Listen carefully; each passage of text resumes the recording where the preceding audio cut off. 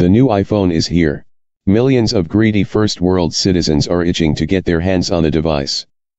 A year after the release of the iPhone 6 and 6 Plus, people are ready to drop another $800 for negligible changes. From spoiled, perverted, Snapchat-loving teenagers, to the technologically impaired elderly, Apple stores around the world are enjoying a wide variety of demographics. An A9 chip and 2 GB of RAM mean you can crush candy faster than ever. New 7000 series aluminum means you can stuff a chipotle burrito in your body as you sit on your phone. Improved Touch ID for those who can't wait a fraction of a second. Force Touch so you don't have to tap a few extra times.